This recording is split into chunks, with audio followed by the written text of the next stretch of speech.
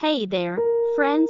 Today, we're going to talk about a fascinating topic how to learn us laws and why it's crucial to understand the legal system. So, buckle up and let's dive right in. You see, if you want to succeed in life and become a part of the elite one, understanding us laws is key. It's not about becoming a lawyer, but rather learning how to use the legal system effectively. This knowledge can save you from legal issues that can ruin your financial future. Now, you might be wondering how you can access this information. Well, there are plenty of books on Amazon that cover us laws in detail. While I recommend checking out The Law is Your Friend by Ralph Slutsky, there are numerous other options available for various states.